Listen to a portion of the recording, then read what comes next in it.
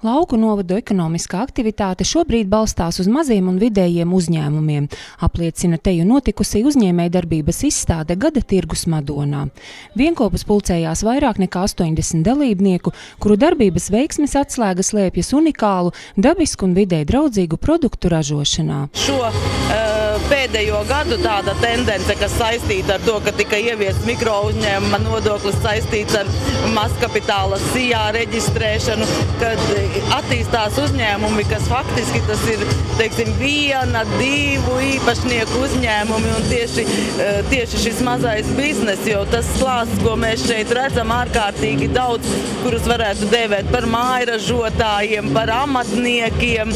Un, un es domāju, ka tā ir, tā ir, tā ir tendence, ko mēs redzam šeit. Kā paši uzņēmēji, tā apmeklētāji norāda, ka tieši preču dažādība un unikālu ideju īstenošana ļauj atrast savu nišu un veiksmīgi realizēt savu produktu. Cilvēki vienkārši palikuši dažādāki ir.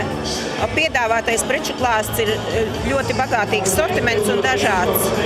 Es domāju, ka cilvēki varbūt ir sākuši arī vairāk pievērsties nu, teiksim, naturālajiem produktam, vairāk nu, dzīvam produktam.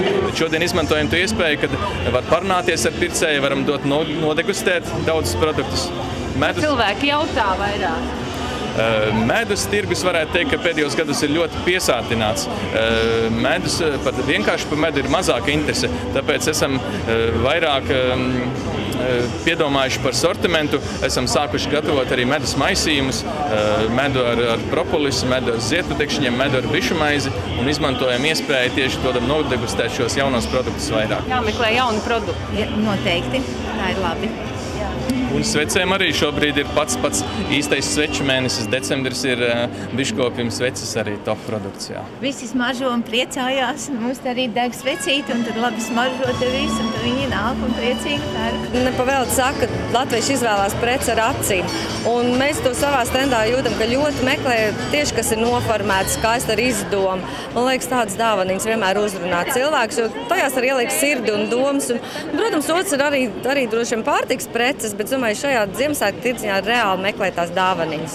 Es ļoti priecīgs esmu. Es domāju, ka ļoti liela perspektīva, ka mēs tagad varam taisīt tieši tirgumu skaistus darbus, lai veicas Madonai vēl uz priekšu un turpmāk. Lai arī valsts ir pieņēmusi lēmumus, kas atvieglo mazā uzņēmēja darbību, tomēr ņemot vērā lielu aktivitāti, šie pasākumi varētu būt vēl efektīvāki, lai reģionos vēl vairāk rosinātu aktīvos un darbīgos iedzīvotājus. Ko varētu Latvijas valsts un pašvaldība darīt lietas labāk, ka būtu palīdzēt uz eksportu, visu tos certifikātus daļai finansēt vai, vai palīdzēt visu to nokārtot. Kaut vai ar informāciju, kas kurā valstī vajadzīgs, jo tur, lai iet uz, iziet uz eksportu, ir ļoti, ļoti grūti saprast, kas kurā valstī vajadzīgs. Starptautisku nozīmi izstādē piešķīra dalībnieki arī no kaimiņu valstīm. Igaunietis bija atvedušas stendu ar iztēli rosinošām rotaļlietām un lēlēm. Mēs esam pirmo reizi Latvijā. Esmu iecerējusi izveidot kopēju sadarbību ar latviešu uzņēmējiem, sameklēt šeit jaunus partnerus, lai īstenotu kopējus projektus. Krievijas uzņēmēji latviešu radītajos produktos raudzīja unikālas idejas, ko varētu īstenot savā pusē. Tendences, protams, šeit ir citas. Tas ir ļoti reti, kad varam ieraudzīt kaut ko citu, atšķirīgu, atrast, ko mēs varētu izmantot savos ražojumos. Šādas izstādes ir lieliska iespēja savstarpējai pieredzes apmaiņai. Lai arī izstādes gada tirgus darbošanās bija paredzēta līdz dienas beigām, vairumam dalībnieku preces bija izpārdotas jau dažu stundu laikā.